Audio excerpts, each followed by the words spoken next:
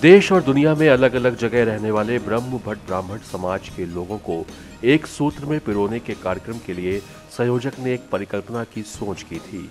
करीब छह महीने के अथक प्रयास के बाद आयोजक की परिकल्पना ने मूर्त रूप ले लिया और वो दिन भी आ गया जब अपने प्रयास के चलते उन्होंने ब्रह्म भट्ट समुदाय के लोगों को लखनऊ में एक मंच दिया।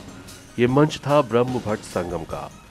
इस मंच के माध्यम से कार्यक्रम के संयोजक ने देश के 18 प्रांतों के ब्रह्म भट्ट समुदायों को एक सूत्र में पिरोने के मकसद से लखनऊ के इंदिरा गांधी प्रतिष्ठान में आमंत्रित किया। उम्मीद से ज़्यादा लोग यहाँ पर आए भी और कई महान ब्रह्म भट्ट विभूतियों ने अपने विचारों से लोगों को अवगत कराया। इस दौरान ब्रह्मभट्ट समाज के महान विभूतियों को याद कर उनके जीवन काल पर आधारित वृत्त चित्र को दिखाकर कार्यक्रम में आए लोगों से आह्वान किया गया कि वह भी अपने कार्यों से समाज के विभूतियों का सम्मान बढ़ाने के साथ ही देश दुनिया का कल्याण करे। इस कार्यक्रम का जो मेरा और हमारी टीम का एक मुख्य उद्देश्य रहा है कि सिर्फ़ और सिर्फ़ हम एक हो।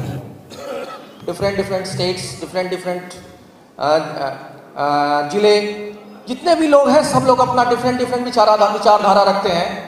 लेकिन मुझे सिर्फ़ एक जो मोटिव हमारा रहा, कि हम सारे स्टेट एक जगह आकर के, एक फीलिंग्स के साथ, एक इरादे के साथ हम काम करें। ब्रह्मभट्ट संगम कार्यक्रम के मौके पर उत्तर प्रदेश विधानसभा अध्यक्ष ने ब्रह्मभट्ट पुस्तक का विमोचन भी किया। बहुत प्राचीन काल से, वैदिक काल से। धरती को माता और आकाश को पिता जानता आया है।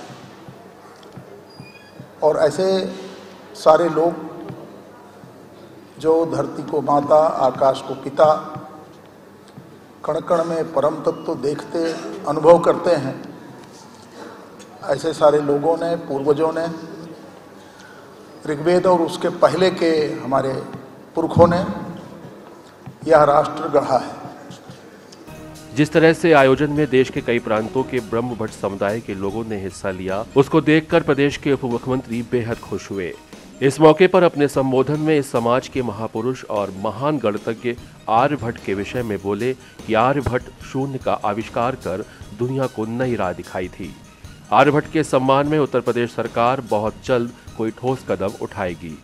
इस मौके पर उत्तर प्रदेश के उप मुख्यमंत्री ने आयोजकों को सफल आयोजन के लिए बधाई दी। आप जो हैं, आपका जो खून ऋषियों का है, मुनियों का है, उसे कोई बदल नहीं सकता। है इसलिए आप में शक्ति रहे, आपकी एकता रहे। अपने पंडित राम कुमार शुक्ल जी की के बारे में और आर्यभट्टी जी के बारे में कुछ ना कुछ करने की बात रखी है।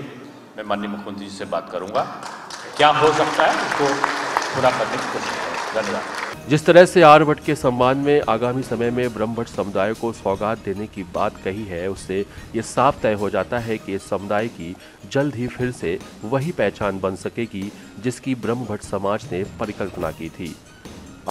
कैमरा पर्सन शैलेंद्र के साथ धीरेन्द्र श्रीवास्तव, जनमत न्यूज़ लखनऊ।